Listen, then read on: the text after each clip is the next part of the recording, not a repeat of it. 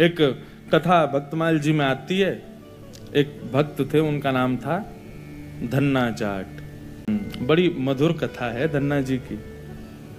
धन्ना जी की कथा ऐसे प्रारंभ होती है कि सामान्य से परिवार में धन्ना जी का जन्म हुआ। देखो, ये हरिप्रिय हैं। इनको हरि प्रिय थे, लेकिन इनकी भक्ति से फिर ऐसी स्थिति हो गई कि ये हरि को प्रिय लगने लगे। तो धन्ना जी के यहाँ एक संत पधारे। संत की शालिग्राम जी की सेवा। और छोटे बालक जो होते हैं, वो संतों को या घर में कोई भी बड़े बुज़ुर्ग आमे या कोई भी श्रेष्ठ जन आए, वो क्या करते हैं, कैसे करते हैं, मेहमानों को देखते हैं बैठ के। तो महात्मा जी अपने ठाकुर जी की सेवा करते और धन्ना जी जाके उनके पास में बैठ जाते। पहले जल से स्नान, फिर दूध से स्नान, फिर घी से, फिर दही से, फिर शहद से, पंचामृत स्नान करा के बढ़िया इत्र लगा के ठाकुर जी को उर्द पुंड तिलक लगा करके माला, तुलसी, पदरा के विराजमान कर दिया। धन्ना जी को इतनी अच्छी लगी ये सेवा।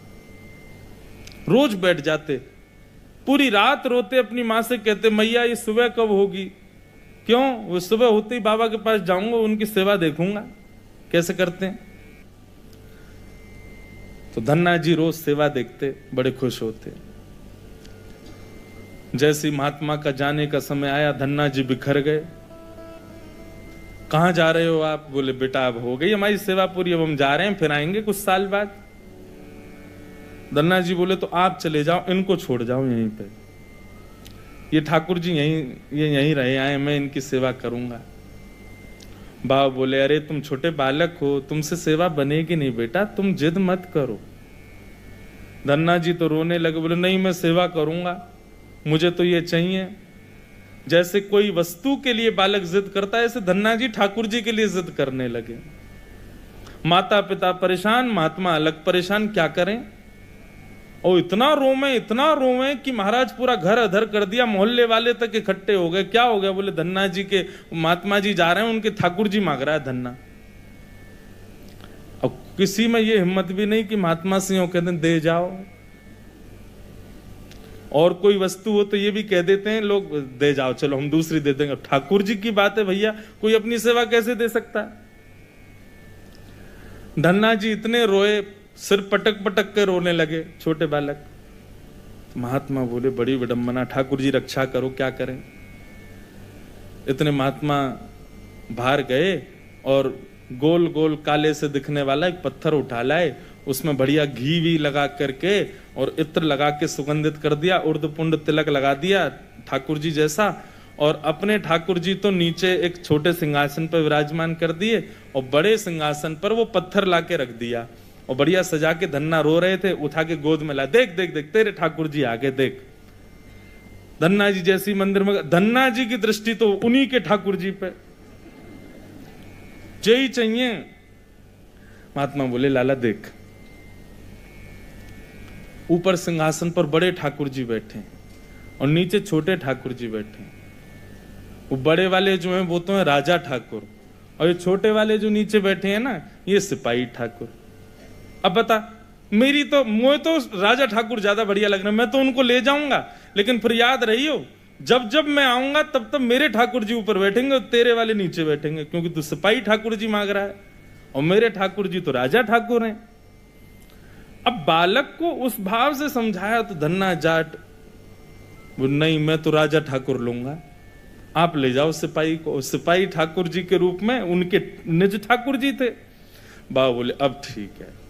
घर वालों ने भी प्रणाम किया, जय हो महाराज जी, बड़ी आपने बुद्धि युक्ति लगाई। सबको लगा कि कंटक छूट गया, लेकिन यहाँ तो अब भक्ति प्रारंभ हुई थी धन्ना जी की। बाकी सेवा तो बाद की बात है, ठाकुर जी भी असली नहीं थे, जन, धन्ना जी के। सामान्य पत्थर था।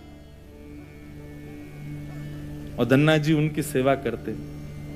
रात भर मैया से कहते, मैया, पूजा की सामग्री मंगाओ ना, मुझे ठाकुर जी की सेवा करनी है। मैया कहती, सुबह मंगा दूँगी, सुबह पीछे पड़ जाते शाम को मंगा दूँगी, शाम को पीछे पड़ जाते सुबह मंगा दूँगी। रोज टाल देती। एक दिन धन्ना जी अनसन पर बैठ गए नन्ने से।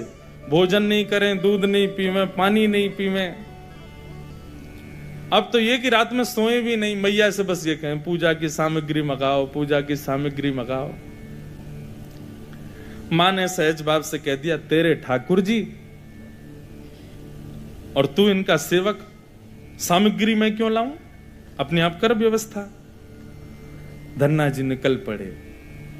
महाराज, पुष्प लियाए तोड़ करके, तुलसी लियाए, बढ़िया सुंदर माला बना ली, नन्हे से बालक ने जैसी उनको, जिस खेल खेल में सेवा करते वैसी सेवा करते थे। ठाकुर जी को तिलक लगाना है, कहाँ से तिलक लावे? तो बाहर गए, एक ईंट फूटी पड़ी थी लाल लाल। उसी ईंट को लाए, पानी में घोल घोल के, घिस घिस के, उसी से तिलक बना दिया। ईंट को घिस करके उसका तिलक श्री ठाकुर जी को लगाया। ऐसी सेवा करने लगे, अपने संगी रखें, अपने संगी सुलामे, संगी मतलब खेल खेल की सेवा थी केवल। घर वालों को लगता था कि भैया दुनिया के लोग खिलौने से खेलते हैं, हमारा धन्ना जो है, ये पत्थर को ही भगवान समझ के खिलौना इनसे ही खेल रहा है। बड़ा होगा तो बुद्धि आ जाएगी। परंतु किसी को क्या पता था कि भैया ऐसा भक्ति का बीज पिरो दिया है धन्ना जी के हृदय में? धन्ना जी, भोग लगाते। और भोग लगाने के बाद में पर्दा लगा करके वहीं बैठ जाते। और बैठ करके प्रतीक्षा करते कि ठाकुर जी पा रहे होंगे। फिर धीरे से पर्दा हटा के देखते अच्छा अभी पाई नहीं? ठीक है। फिर बैठ जाते, फिर प्रतीक्षा करते, कब पाएँगे? खूब देर हो गई, नहीं पाई। तो ठाकुर जी से बोले, आप रोज भोजन अधूरा छोड़ देते हो। मैं भोजन अधूरा छोड़ देता हूँ, मेरी मैया मुझे बहुत मारती है। लेकिन महात्मा जी मुझे ये बता के नहीं गए कि वो मैं आपके संग कर सकता हूँ कि नहीं। धन्ना जी के उस प्रिय भाव, भक्ति भाव पर ठाकुर जी रीझने लगे। एक दिन तो धन्ना जी हट करके बैठ गए, यदि आपने नहीं पाया तो मैं भी नहीं पाऊँगा। धन्ना जी ने थोड़ी देर देखा, थाली यथावत रखी है नहीं पा रहे। तो ठाकुर जी की तरफ़ कमर करके लेट गए। तो ठीक है तो आज मैं भी भूखा सोऊँगा। इतने में ही जैसे उंगली को कोई ज़ोर से चाटे तो चट चट आवाज़ आती है ना, ऐसी चाटने की ज़ोर ज़ोर से आवाज़ आने लगी। धन्ना जी बोले, ये चप चप खा कौन रहा है? और ये ऐसे चटकारे ले ले करके कौन उंगली चाट रहा है? जैसे ही पर्दा हटा करके देखा तो नील माधव भगवान बैठ करके धन्ना जाट की उस थाली में से प्रसाद पा रहे थे। दर्शन किए जब श्याम सुंदर के। मोहित हो गए। ऐसा नील वरण ठाकुर जी का कटाक्ष नेत्र बढ़िया सुंदर घुंघराले केशों की गूद बना करके उसमें मोर पंख लगा रखा है।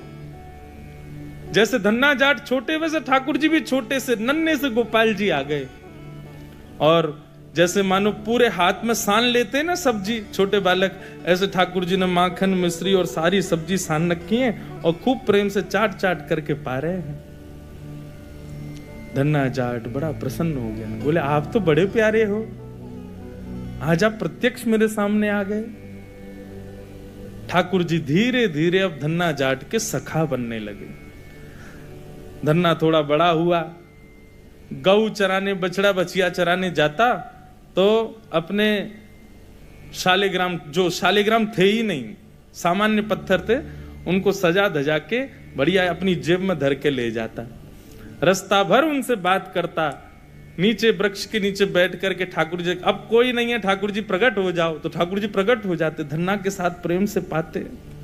धन्ना जी, उन्हीं ठाकुर जी को लेकर के चले गए। ठाकुर जी आज बोले, धन्ना, तू तो मेरी बड़ी सेवा करे, पर मेरो भी मन करे कि मैं भी तेरी सेवा करूँ।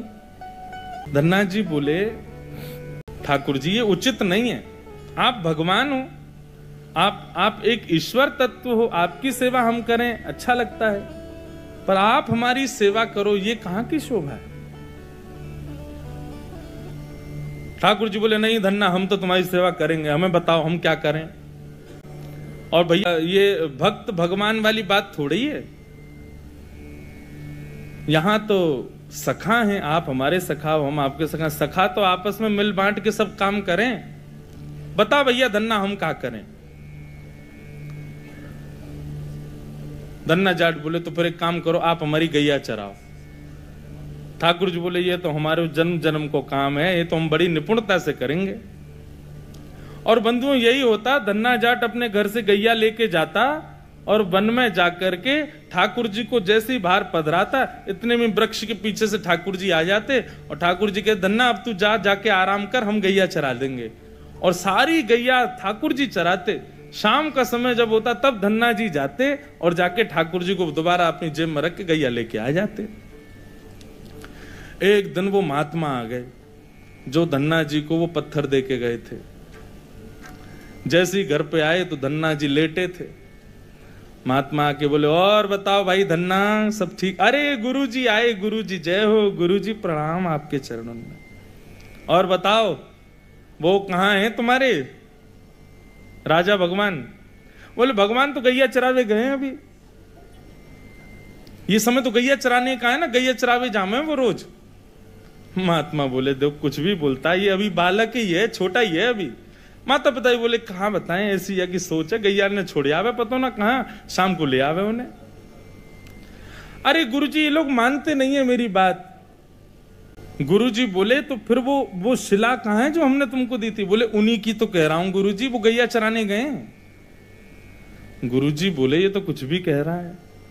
नहीं नहीं, गुरुजी, आप विराजो मैं आपको एक एक बात बताऊँ। और उसने सारी बातें बताई। ठाकुर जी कैसे चटकारे लेके भोजन करते हैं क्या क्या उससे बातें करते हैं, कैसे उसके संग खेलते हैं, कैसे उसकी पिद्दी पे चढ़ जाते हैं, वो ठाकुर जी की पिद्दी पे चढ़ जाता है। ऐसा मधुर भाव वो प्रस्तुत करे और गुरु जी बैठ के सुनते जाए, बोले कि इतनी बड़ी बड़ी बातें झूठ में तो नहीं बोल सकता। बोले गुरु जी मुझे पता है माता पिता की तरह आप भी मुझ पर भरोसा नहीं कर रहे हो। आपको नहीं विश्वास? चलो, मैं दिखाऊँ आपको अभी। मेरे ठाकुर जी गैया चरा रहे हैं। गुरु जी को लेकर के वन में गया तो वन में गैया चर रही थी। बोले, कहा है तेरे ठाकुर जी? अरे देखो, वो दोहरी गैया के पीछे पीछे हाँक रहे हैं वाकू पीछे पीछे चल रहे हैं वाक्य। देखो, ठाकुर जी दिख तो रहे गुरु जी बोले, हमको नहीं दिख रहे। धन्ना जी दौड़ के ठाकुर जी के पास गए, बोले, मेरे गुरु जी आए उनको दिख जाओ। भगवान बोले, उनको नहीं देखेंगे हम हम बस तुमको ही देखेंगे, तुम्हारे सखा तुमको देखेंगे, सबको थोड़ी देखेंगे। अरे भैया, ऐसा मत करो, क्यों? बोले, आपको और मोकू एक दूसरे से मिलवावे वाले तो गुरु जी हैं। गुरु जी यदि मुझको नहीं देके जाते आपको तो आप मुझे कैसे मिलते? मेरे गुरुदेव हैं, इन्होंने ही तो मुझको दिया था आपको। ठाकुर जी रीझ गए, पुनः पुनः धन्ना को हृदय से लगाए, इसकी भक्ति ऐसा भाव। इतने में ही नील माधव, नील मणि ठाकुर जी प्रकट हो गए और जैसे ही प्रकट हुए, दूर खड़े गुरुदेव के एक एक रोम बिलखने लगा, रोने लगे और धन्ना के चरणों में प्रणाम किया। बोले, हम सच्चे शालिग्राम से प्रकट नहीं कर पाए, तूने सामान्य पत्थर से प्रकट कर दिया ठाकुर जी को। हम अष्टयाम सेवा से प्रकट नहीं कर पाए और तूने सामान्य पत्थर घिस घिस के तिलक लगा के प्रकट कर दिया ठाकुर जी को। हम छप्पन भोग पधरा करके ठाकुर जी को प्रकट नहीं कर पाए, तू बेसर की रोटी खवा के ठाकुर जी को चटकारे दिलवाता है। हम यहाँ ठाकुर जी से प्रार्थना करते हैं, कभी त्रिभंग लली से सीधे लली भी बन जाओ ने पूरे दिन यूँ ही खड़े रहो, दर्द है जाते हो हाथ में ने हाथ सीधे कर लो तू ठाकुर जी से गैया चरवा रहा है अपनी। धन्य है धन्ना तेरी भक्ति को। बंधुओं ठाकुर जी को ऐसे प्रिय भाव अच्छे लगते हैं। आप नियम कितने करते हो, आप साधना कितनी करते हो, आप जप कितने करते हो, आप आप व्रत कितने करते हो, ये विशेष बात नहीं है। पर दस मिनट भी ठाकुर जी के सन्मुख बैठते हो, किस भाव से बैठते हो, वो भाव प्रिय है। ठाकुर जी भाव का सेवन करते हैं।